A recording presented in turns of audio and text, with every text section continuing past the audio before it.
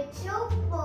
Puppet show? Opo, ang galing-galing po nila, di ba po? Oo, magaling talaga yung mga puppeteers. Puppeteers? Tama! Alam mo ba ang puppeteers ay nagpapagalaw sa mga puppet? At ang puppet ang mga pinapagalaw ng mga puppeteers. Ah, nilalagyan lang pala po ng boses at saka magsabay na din ng tubig. Kitchi, ang nagbibigay boses sa mga puppet ay ang mga puppeteers. Ha? Paano nangyari yun? Ang tawag doon sa mga nagbibigay boses sa mga puppet ay ang mga puppeteers. At ang isa pang tawag doon ay ventriloquist. At ang pamamaraan niyon, Kitchi, ay tinatawag na ventriloquism. Ah, ventriloquism. Mhm. Madalas ginagamit yung ventriloquism sa mga puppet show tulad ng pinapanood mo. Ah, ganun pala Kuya Kai. Siguro, dahil pinaglaralan nila yan at nagpakadlubasa sila para sa isang talentong yan. Ah, ganun pala po yun. Opo, gusto mo bang matuto paano gumawa ng puppet? Opo! Para masubukan mo at malaman mo kung paano sila gawin. Opo, gusto ko din po matuto gumawa ng puppet. O mga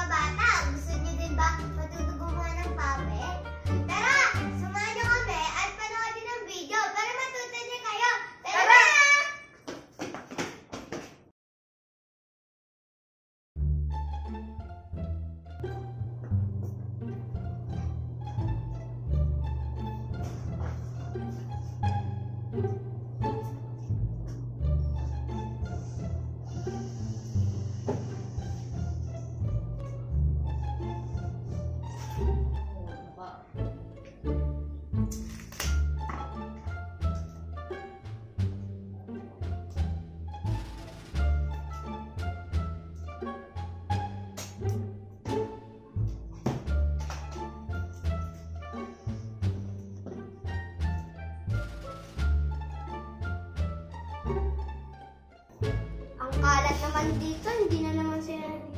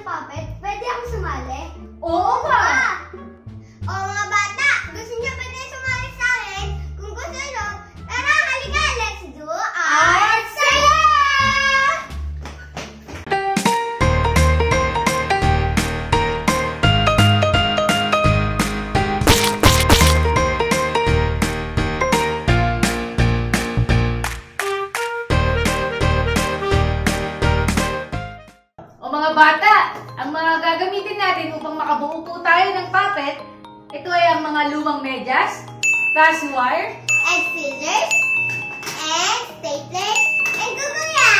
Belle, ikaw. Glue stick and yarn. Yun, yung mga bagay na ito, maaari nyo rin itong makita sa inyong mga bahay. Tara, gawa tayo. O mga bata, paalala lang po. Ito ay matatalas na bagay, kaya kailangan magdahan-dahan kayo o magpatulog sa mga magulang. At saka, mga stapler din matatalas, kaya dahan-dahan kayo.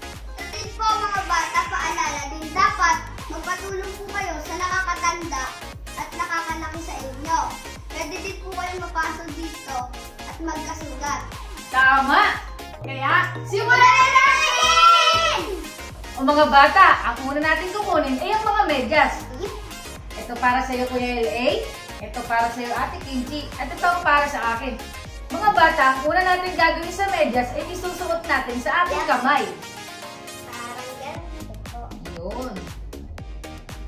Pag medyo mahaba, eh ganito mo na lang po. Yan. Tama po ang sinasabi natin Kimchi kasi nakita niyo po yun sa pinapanood niya.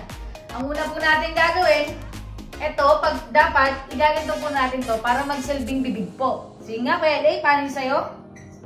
Usog mo po yung Kuya LA.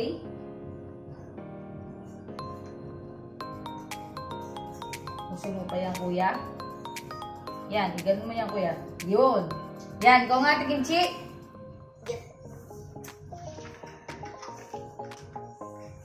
I can't.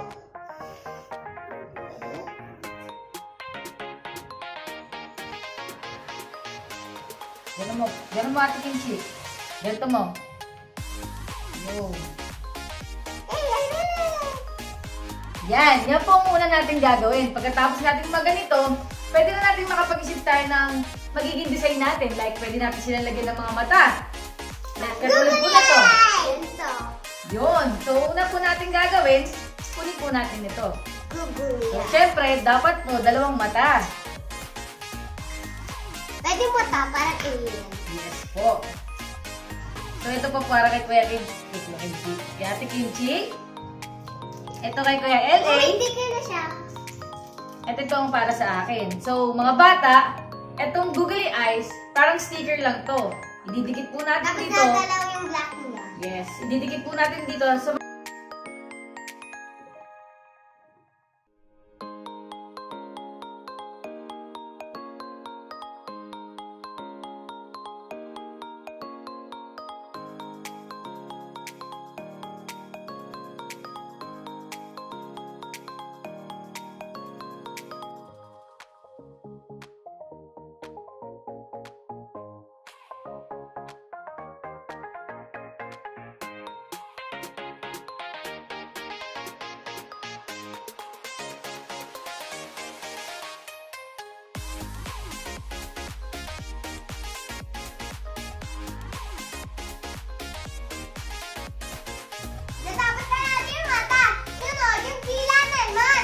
So, ganito po kung paano gumawa ng dila. Una, kumuha lang ng makulay na papel. Then, gumupit ka ng, ng korting dila. Like, like,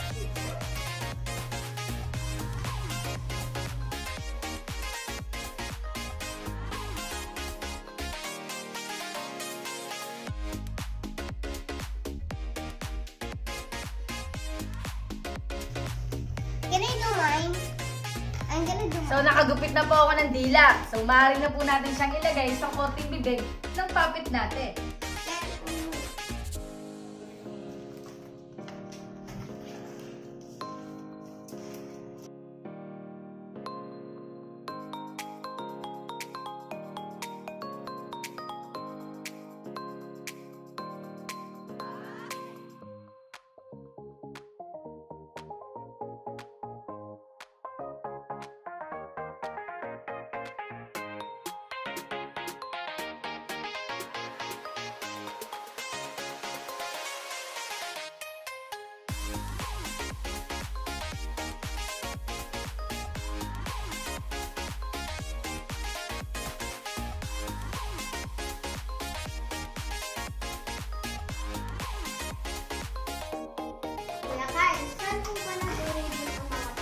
Magandang katanungan yan, Kuya LA.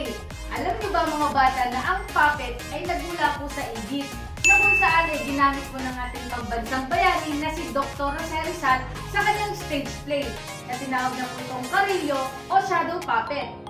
Ngunit ang mga kanyang mga ginamit na mga materyales ay stick, karton, pati ang tela. Di ba madali lang mga bata? Ginamitan na rin po ito ng kandila upang mag-reflect ang shadow sa pader. Ah, ganun po pala yun. Opo, mga bata. Naintindihan niyo po ba, mga bata? Kuya Kai, Po. saan po madalas ginagamit ang puppet? Madalas na ginagamit ang puppet sa pag-entertain ng mga bata, maging sa TV show at mga commercial sapagkat ang mga puppet ay maganda sa paningin ng mga bata.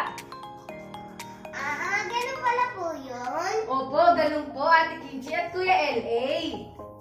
Kaya, kaya magugustuhan ng mga bata to? Tama. Ngayon, tapos na po ba kayo sa mga dila niyo, mga bata? Yap. Ang susunod naman po natin gawin ay lagyan naman natin ng buhok para maging maghugis mukha siya. Okay. So, ito sa'yo, Kuya L.A. Ano yung color red mo? Ayan. Ano gagamitin natin pang dikit? Pwede po natin gamitin ng double-sided tape at glue gun, pero mas madali ito sapagkat mga bata naman yung gagamit.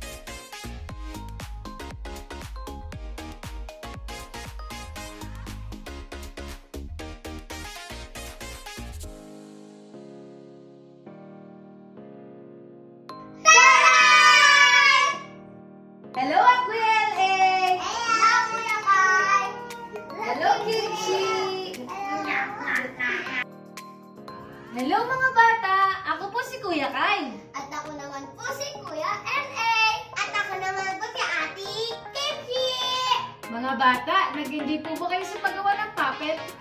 Ikaw, Ate Kimchi. Opo, nag-enjoy po ako. Ang saya-saya.